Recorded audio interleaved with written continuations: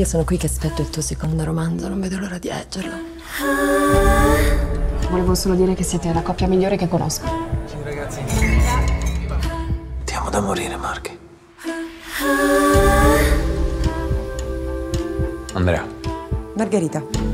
A chi dobbiamo la nostra fedeltà? Agli altri o a noi stessi? Scusa. Di cosa? E tu sei felice? Ma che domanda è? Le tue mani seguono il percorso che disegniamo. Volevo fare la redattrice. E perché hai rinunciato? Una vita fatta di scelte. Che cadono, crollano. E solo un altro giorno in più. Cos'è successo in quel bagno? Niente. Sono cinque anni che io penso soltanto a te. E tutto quello che riguarda me, sogni, ambizioni, progetti, tutto passa in secondo piano. Cosa vuoi? non so stare senza di te.